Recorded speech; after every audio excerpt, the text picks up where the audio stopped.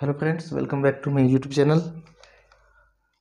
इस वीडियो में हम देखेंगे इनर्ट एंड लेवाइल कॉम्प्लेक्स। ये टर्म जो आता है, वो काइनेटिक स्टेबिलिटी से आता है, ठीक है? ये इनर्ट मतलब अक्रिय होगा और लेवाइल मतलब सक्रिय होगा, ठीक है?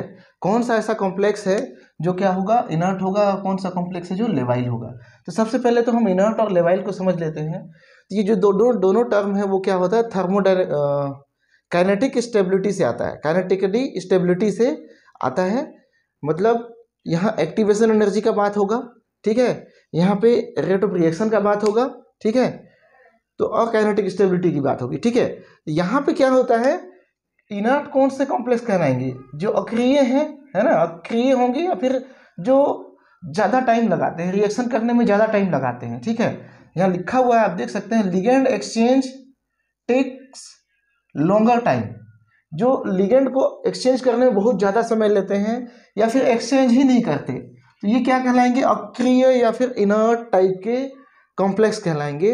होता क्या है कि इनकी जो एक्टिवेशन एनर्जी होती है ना एक्टिवेशन एनर्जी काफ़ी हाई होती है, काफ़ी हाई होती है। तो इसको रिएक्शन को फॉरवर्ड होने में काफ़ी टाइम लग जाता है। तो टी हाफ़ इसका क्या होगा? एक मिनट से ज़्यादा होगा। टी हाफ़ मतलब रिएक्शन का जो टाइम होगा टी हाफ़ टाइम, वो क्या होगा? एक मिनट से ज़्यादा होगा। और ऐसे कॉम्प्लेक्स को हम क्या कहेंगे? काइनेटिकली स्टेबल स्टेबल कॉम्प्लेक्स कहेंगे। ठीक है? तो ये कुछ एक दो तीन पॉइंट यहाँ पे है। ठीक है? अब लेवाइल कॉम्प्लेक्स कौन होगा?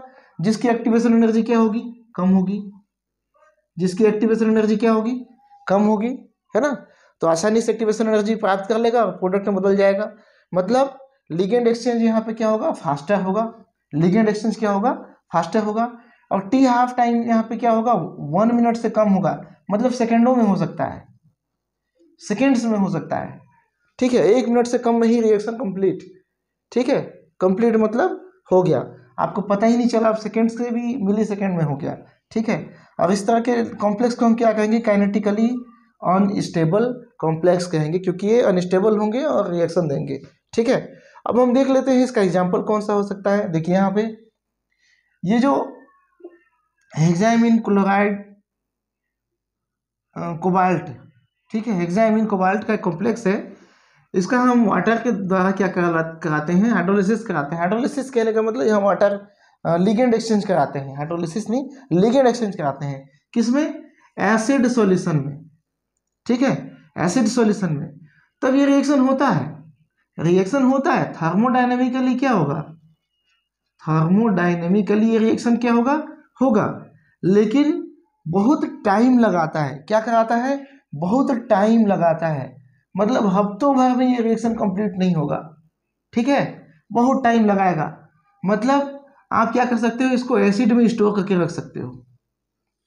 एसिड सॉल्यूशन में इसको स्टोर करके रख सकते हो। क्योंकि ये रिएक्शन काफ़ी स्लो होता है, बहुत टाइम लगाता है। अब इसका कारण क्या है? क्योंकि इसकी एक्टिवेशन एनर्जी काफ़ी हाई होती है। ठीक है? इसकी एक्टिवेशन एनर्जी काफ़ी हाई होती है। तो टाइम लगाएगा ही, ठीक है? काफ़ी टाइम लगाने के बाद में क्या बनाता है ये? C O H two O six three plus ion देता है कॉम्प्लेक्स देता है, ठीक है? तो ये क्या हो गया? स्लो हो गया। तो इसको हम क्या कहेंगे? इनर्ट कॉम्प्लेक्स कहेंगे, ठीक है?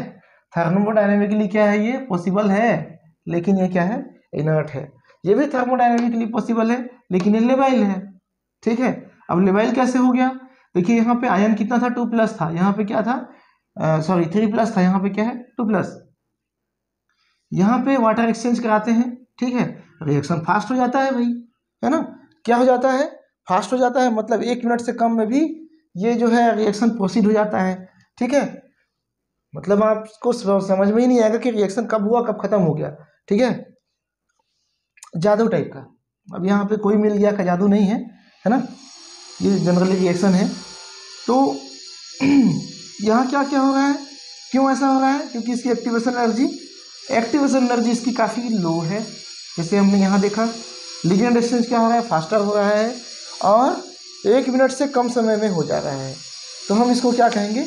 लेवाइल रिएक्शन कहेंगे लेवाइल कॉम्प्लेक्स कहेंगे, ठीक है? मैं इसको मिटा दूँ ऊपर वाले को।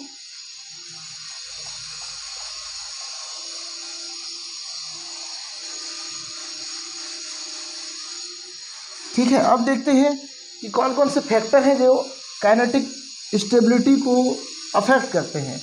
पहला है charge of metal ion charge on metal ion ठीक है? जैसे कि हम यहाँ देख रहे हैं एल्यूमिनियम के ऊपर में कितना चार्ज है? थ्री प्लस चार्ज है। सिलिका में कितना चार्ज है? फोर प्लस चार्ज है। और फॉस्फोरस में क्या है? फाइव प्लस चार्ज है। एक चीज़ आपने पढ़ा होगा, जितना चार्ज जो है बढ़ते जाता है, उतना उसका साइज़ क्या होता जाता है?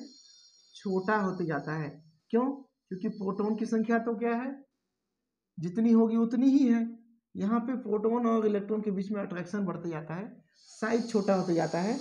साइज़ छोटा होगा, देखो इसको भी हम ले लेते हैं। Size of metal ion size of metal ion हम कह सकते हैं कि जिसका साइज़ छोटा होगा, वो लिगेंड के साथ में क्या करेगा? स्ट्रॉन्ग बॉन्ड बनाएगा। स्ट्रॉन्ग बॉन्ड बनाएगा। जिसका साइज़ छोटा होगा, वो क्या करेगा?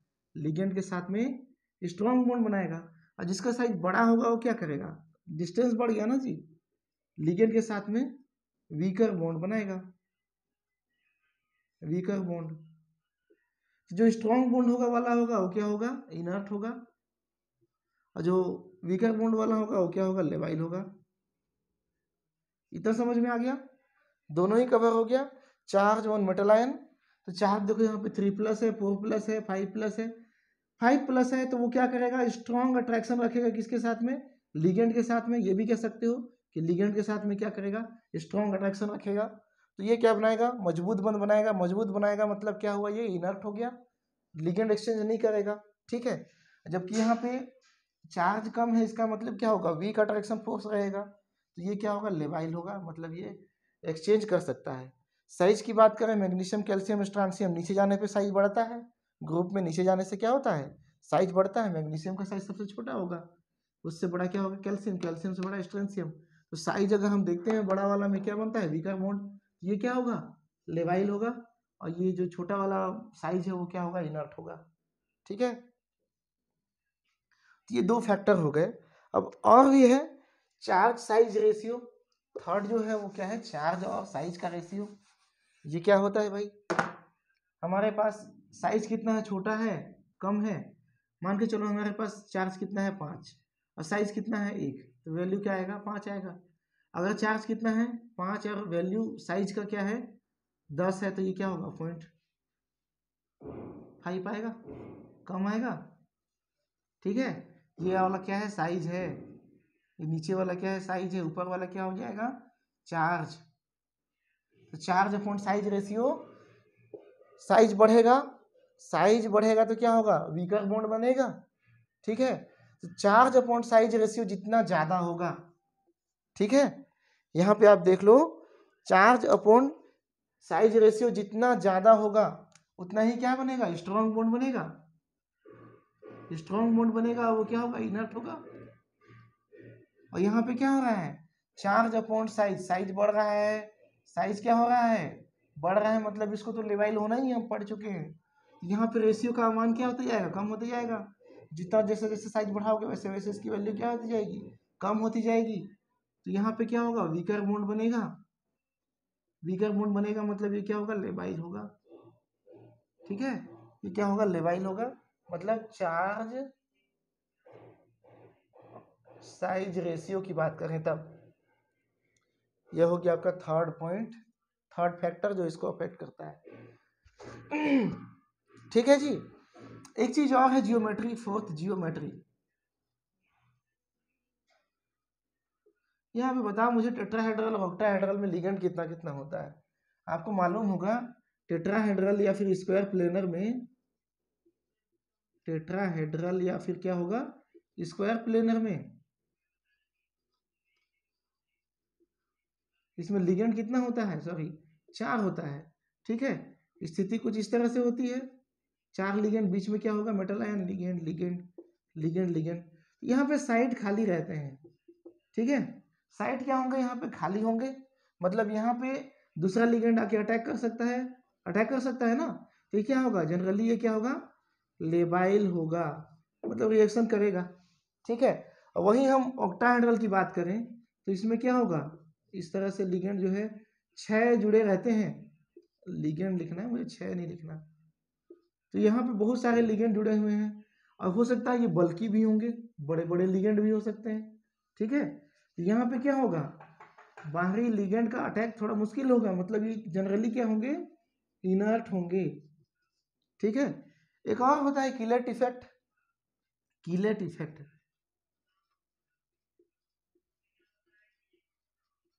ये नोट्स में लिखा नहीं है ना? हालाँकि कोई दिक्कत नहीं है। अगर मान के चलो मेटल आयन में कोई ऐसा लिगेंड जुड़ा हो जो क्या करे दो जगह से जुड़े किलेट बना देगा। जैसे यहाँ पे है तो ये क्या कर दे दो जगह से जुड़े बाइडेंटेड लिगेंड ठीक है? इसके साथ जोड़ो इसको इसको जोड़ दो इसके साथ इस तरह से। तो क्या होता है कि अगर हम एक बॉन्ड को तोड़ भी दें तो, तो भी से लिगेंड क्या होता है जुड़ा रहता है। है ना? ये कीला बना लेता है। कीला मतलब जाल टाइप का बना लेता है। मकड़ी का जाल टाइप का, ठीक है? अगर एक बॉन्ड को हम तोड़ भी दें तो क्या होगा? लिगेंड अलग नहीं हुआ। वो उसी में जुड़ा हुआ है, ठीक है? उसी में क्या हुआ है? जुड़ा हुआ है। तो इस तरह की स्टेबिलिटी क्या होती है? ज़्यादा होती है। इस तरह क्या होते हैं? इनर्ट होते हैं। इस तरह के कॉम्प्लेक्स क्या होते हैं? इनर्ट होते हैं। आगे देखेंगे अभी ठीक है? तो ये तो थे सारे के सारे फैक्टर्स अब थोड़ा सा हम कंक्लूजन निकाल लेते हैं, देख लेते हैं कि कौन कौन से कॉम्प्लेक्स जो है वो लेवाइल होंगे इनर्ट होंगे है ना? तो हमने देखा स्क्वायर प्लेनर तो क्या हो रहा है? स्क्वायर प्लेनर और जो टेट्राहेड्रल हो रहा है वो क्या हो रहा है? इनर्ट ही हो रहा है। तो उस, उसकी बातें नहीं करते हैं। हम बात कर लेते हैं ऑक्टाहेड्रल की ठीक है? तो दो टाइप का है। एक तो valence bond theory V B T के अनुसार के अनुसार। ठीक है? यहाँ पे दो तरह का कॉम्प्लेक्स बनता है, एक आउटर ऑर्बिटल कॉम्प्लेक्स दूसरा होता है इनर ऑर्बिटल कॉम्प्लेक्स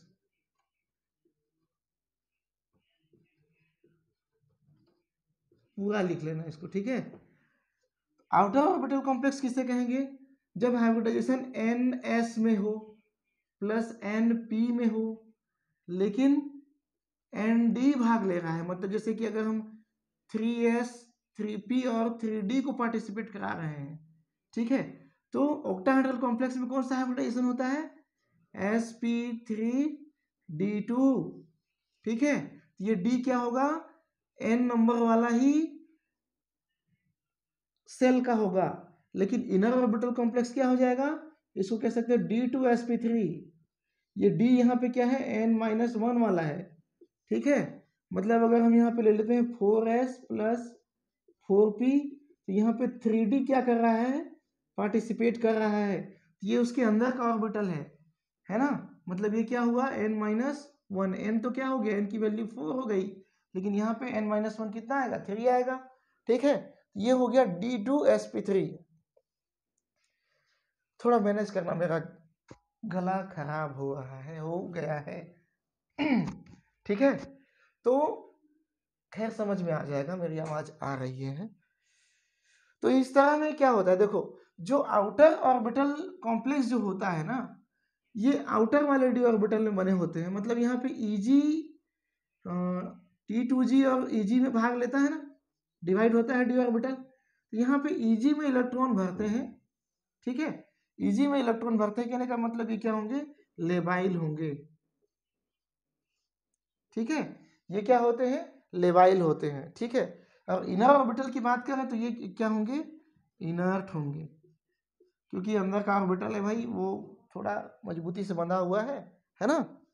मजबूती से बंधा हुआ है। और यहाँ पे इलेक्ट्रॉन भरने का जो क्रम होता है वो टी टू जी में होता है।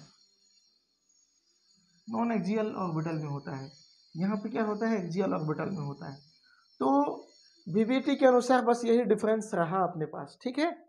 अब हम देखते हैं सीएफटी के अनुसार क्रिस्टल फ़ील्ड थ्योरी के अनुसार। क्रिस्टल फ़ील्ड थ्योरी आपने पढ़ा है है ना? पढ़ा है? फ़र्स्ट सेमेस्टर में है। अगर नहीं पढ़ा है तो वीडियो जाके देखिए क्रिस्टल फ़ील्ड थ्योरी है ना? वहाँ मैंने आपको स्प्लिटिंग बताया है ऑक्टाहेड्रल का टेट्राहेड्रल का। हाँ। सी के अनुसार C F T crystal field theory के अनुसार। यहाँ पे क्या होता है, हम सीधा सीधा ले लेते हैं configuration D zero D one D two D three D four D five D six D seven D eight D nine और डी टेन इसको मैं एक साथ क्यों लिखा हूँ? मैं बताऊँगा आपको, ठीक है? देखो डी ज़ीरो में डी इलेक्ट्रॉन है ही नहीं, है ना? ये किसमें टूटता है? टी टू जी और ई e जी में। मैं बार बार टी टू जी ई जी नहीं लिखूँगा, बस संख्या लिख दूँगा यहाँ पे, ठीक है? यहाँ भी ज़ीरो यहाँ भी ज़ीरो ये क्या होगा? इसमें क्रिस्टल फिल स्टेबलाइजेशन एनर्जी कुछ नहीं निकलेगी।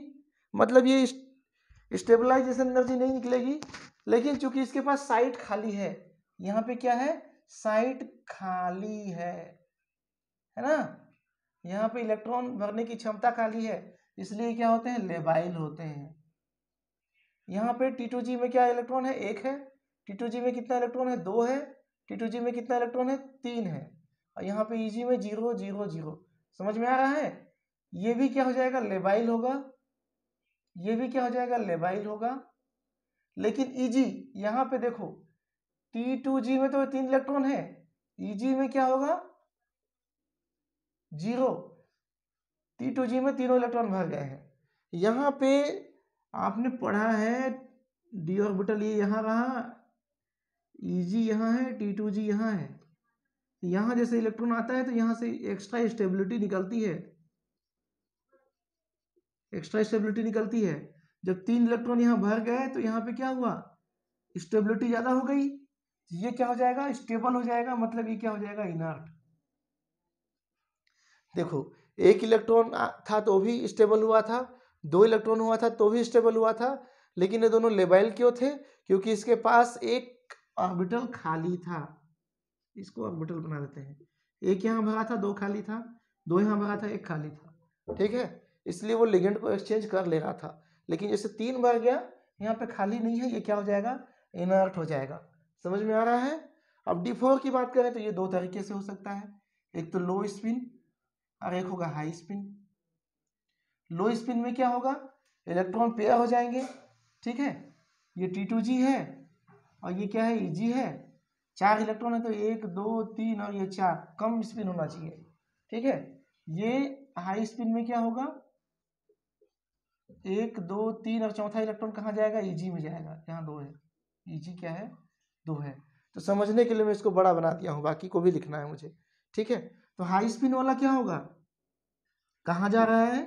लोअर एनर्जी लेवल में जा रहा है मतलब ये ज़्यादा स्टेबल होगा।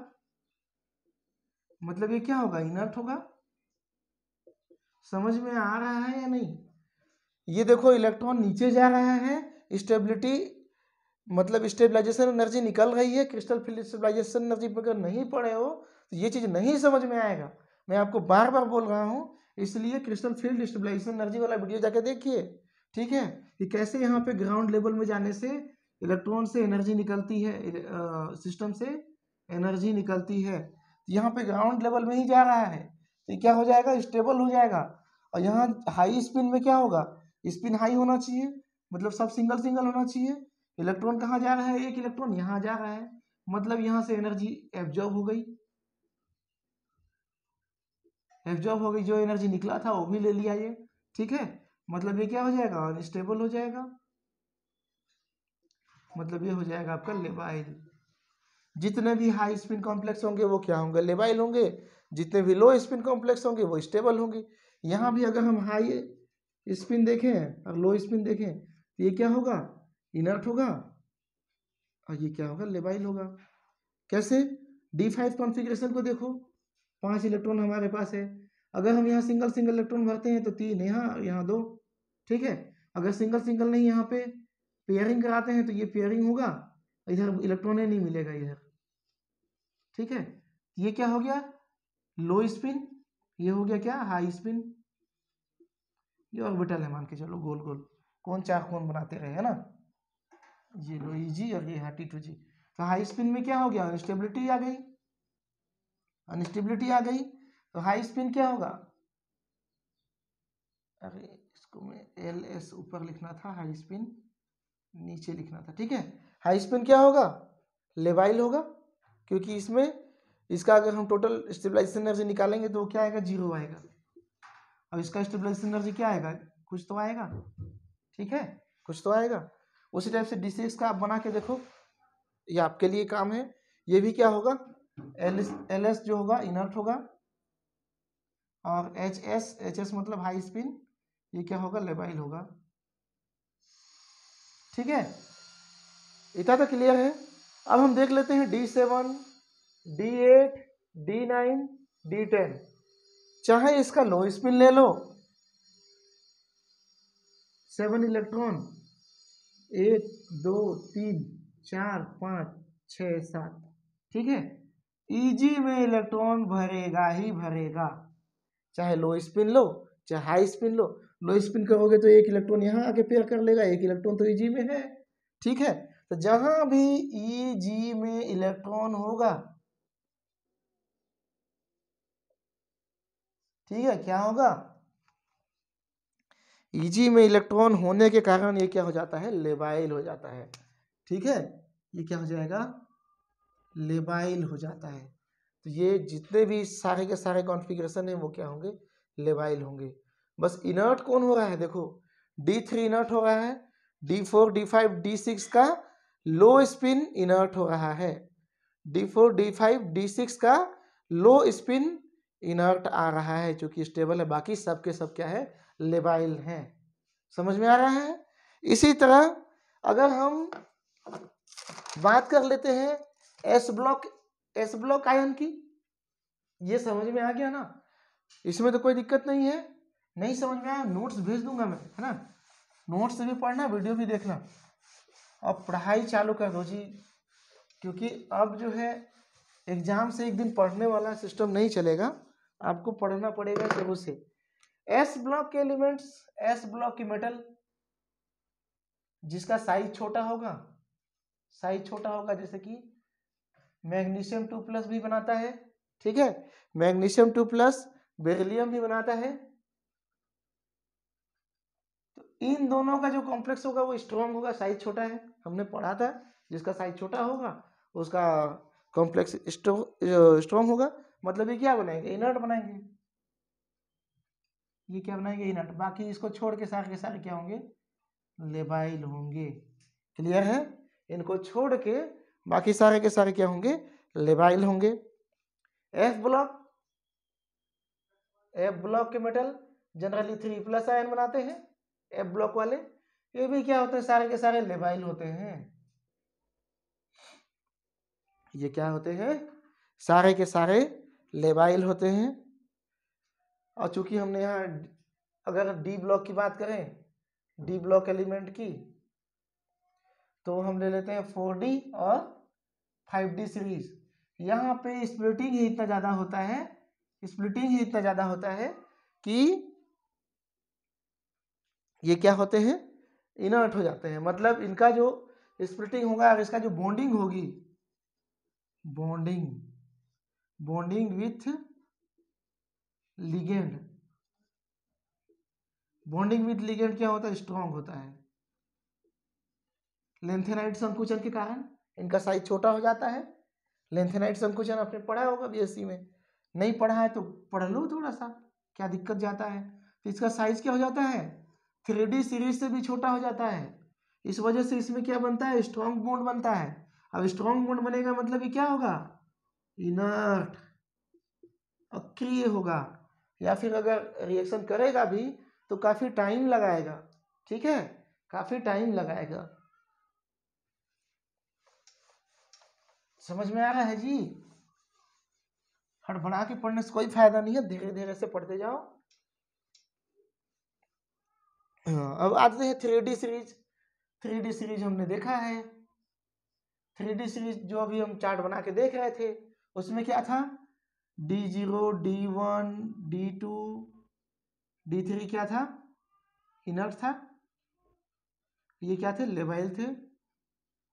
बाकी सारे के सारे हाई स्पिन क्या थे?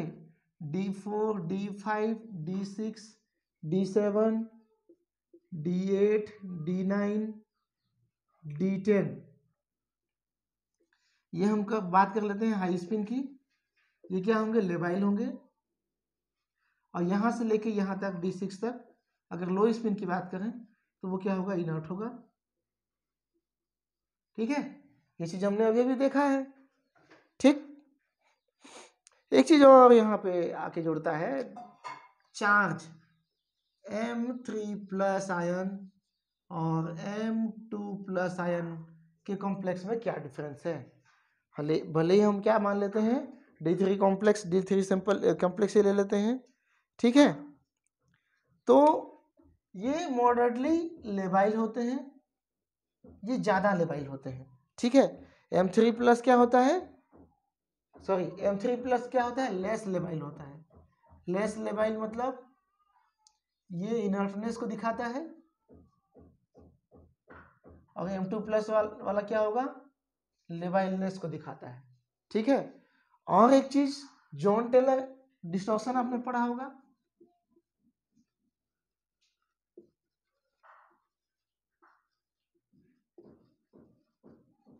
ये जनरली डी नाइन कॉन्फ़िगरेशन में आता है।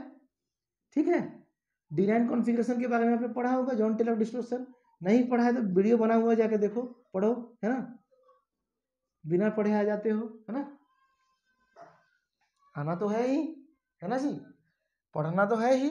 जानकारी रखना चाहिए। अब जॉन टेलर डिस्टोर्शन मालूम ही नहीं है तुमको आ गए यहाँ पे तुम लेवाइलनेस पढ़ने तो यहाँ बड़ा दिक्कत ना हो जाएगा। यहाँ डी नाइन कॉन्फ़िगरेशन जो होता है, इसमें जॉन टेलर डिस्टोर्शन पाया जाता है। मतलब विकृति पाई जाती है यहाँ पे एक तरह की, है ना? मतलब उसका जो संरचना होगा, जो भी संरचना होगा, उसमें डिस्टोर्शन पाया जाएगा। मतलब अगर हम ऑक्टाहेड्रल बोल दिए ऑक्टाहेड्रल संरचना होना चाहिए तो यहाँ पे क्या होता है? ऑक्टाहेड्रल ना होकर डिस्टोर्ड डिस्टोर्ड डिस्टोर्ड ऑक्टाहेड्रल होता है। मतलब थोड़ा सा बिगड़ा हुआ, जिसका थोड़ा थोड़ा बिगड़ा हुआ हो। ठीक है? ऐसे। समझ में आ रहा है? देखो, समझ में आएगा तब तो वाह वाह है। समझ में नहीं आया मतलब हवा हवा है। केमिस्ट्री ऐसे नहीं है। ठीक है? तो यहाँ पे आपको मैं एक टर्म बता रहा हूँ कि D nine configuration highest highest लेवाइल होता है। क्यों? क्योंकि यहाँ पे जॉन टेलर डिस्टोर्शन पाया जाता है। जहाँ जहाँ भी जॉन टेलर डिस्टोर्शन पाया जाएगा, वो क्या होगा? हाईएस्ट लेवाइल होगा मतलब काफ़ी फास्ट रिएक्शन करने वाला कॉम्प्लेक्स होगा। तो मेरे को समझ में तो आ गया है। अब आपको समझ में आया कि नहीं आया? इसके बारे में मैं कुछ नहीं कह सकता। अगर समझ में नहीं आया तो वीडियो को फिर से शुरू कीजिए, देखिए, और कुछ दिनों में इसका नोट्स आ जाएगा। मैं तुरंत नोट्स इसलिए प्रोवाइड नहीं कर रहा हूँ, क्योंकि मैं चाहता हूँ कि आप लोग खुद से नोट बनाओ, ठीक है? ये नहीं कि भाई सर बना के दे दिया, पका पकाया, हम खा लिए मज़े से। कोई काम ना धाम, है ना? फुकट का दाम। तो चैनल में बने के लिए बहुत बहुत धन्यवाद। आप सबका दिन शुभ हो।